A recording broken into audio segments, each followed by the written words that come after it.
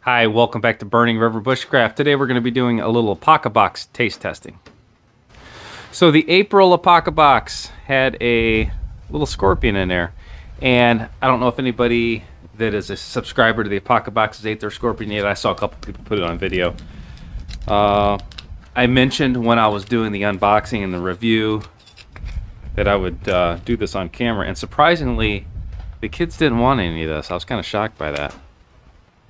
So I don't know what kind of shape everybody else's uh, scorpions were in, but mine didn't look all that good. Mine did not look like a big, juicy, delicious scorpion. Mine kind of looked all shriveled up. The stinger is actually off this guy. So here's a good look at my scorpion. Mine looks like it was drugged behind a truck on the way out from the desert. Uh, the stinger is in here, the other pincher is in here. But uh, not the most appetizing looking thing in the world. So I've ate some pretty nasty stuff. I don't think I've had scorpion yet. And yeah, tastes like a piece of leather. So here's the stinger. On mine, the stinger tail actually was off of it.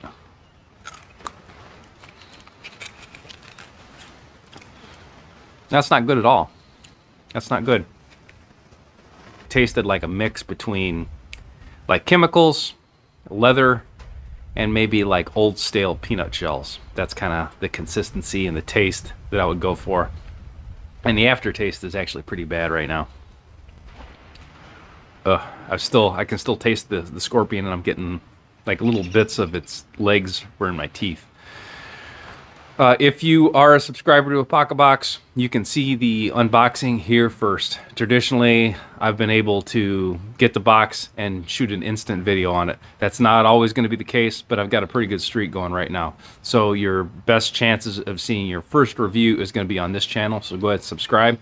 If you're into the bushcraft survival thing, uh, the Apocabox subscription service probably should be something you should look at.